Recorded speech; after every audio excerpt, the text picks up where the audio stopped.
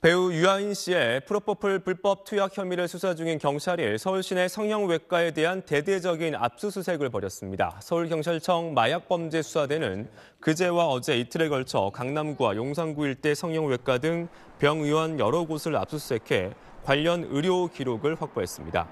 유 씨는 여러 병원을 돌아다니며 의료 외 목적으로 프로포폴을 상습 처방받아 투약한 혐의를 받고 있습니다.